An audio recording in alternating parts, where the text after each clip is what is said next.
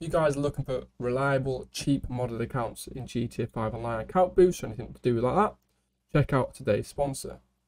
Now today's sponsor is Hyper Resupply. They do do everything that you'll need in GTA 5 Online completely cheap and reliable. And they are 5 star rating as well.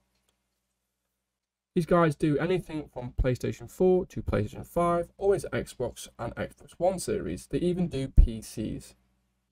These do money boosts, anything you want to do with this game at all. Make sure you go ahead and check them out. I will leave a link in the description to the website. If you guys want to contact them as well, you go ahead and go about us, you can go ahead and contact them. They also do giveaways on their Discord, so I'll leave a link to their personal Discord in the description as well if you want to check them out you guys are purchasing anything, make sure to go ahead and use code DINO for 10% off. Oh, what is going on gamers? It's your boy Deano. Welcome back to another video here on the channel. Today's video is all based on how to get the duffel bag, the white duffel bag in GTA 5 Online, working after all patches. And the patch today is 1.65.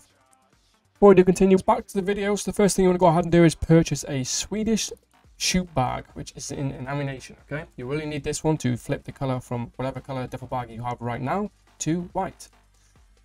Then you want to go ahead and equip the outfit with duffel bag and transfer it over to the outfit that you are creating the white duffel bag on. From here, all you want to go ahead and do is get an autosave with the outfit with the duffel bag on. You want to bring up your interaction menu and hover over accessories. Once you hover over accessories, go ahead and disconnect your console 1, head over to your console 2. When you're on your console 2, you should spawn in with just a chute bag, okay? It's really important you know this, just like you see here. You want to go ahead and pull up your interaction menu. You want to change the bag from left to right and left to right again, or right to left. That will trigger an autosave. Make sure whatever you do, you do land on the chute Swedish bag at the very end, okay? Once you've got that autosave, hold down your D-pad, select the story mode character, and head back over to your main console, which is still disconnected with Arcai Router. Once you're back on there, all you want to go ahead and do is pull up your interaction menu. You want to go to the accessories, go to the gloves, and you want to change your gloves around. This will keep the parachute or the duffel bag on the back without it leaving your outfit. Okay, so you need to keep this duffel bag on the back right now.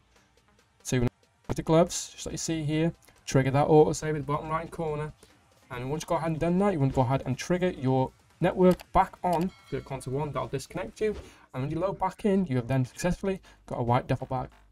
There we go, guys. Hope you guys enjoy this one. As always, your boy Deano. Bye bye.